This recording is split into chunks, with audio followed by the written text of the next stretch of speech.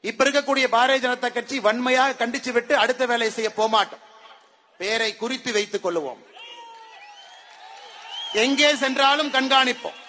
அப்படியெல்லாம் எங்கேயும் தப்பிச்செல்லாம் நீங்க போயிட முடியாதுங்க. அந்த மாதிரி பாஜக தலைவர்கள் இங்க இல்ல. எங்கே சென்றாலும் பின்னாடி வருவோம் என்று கரூர் மாவட்டத்தினுடைய ஆட்சியருக்கும் கரூர் மாவட்டத்தினுடைய காவல்துறை கண்காணிப்பாளருக்கும் பணிவன்போடு தெரிவித்துக் கொள்கின்றனர் இந்த மேடையில எங்களுடைய பேச்சை பார்த்து திருந்திக் கொள்ளுங்கள்.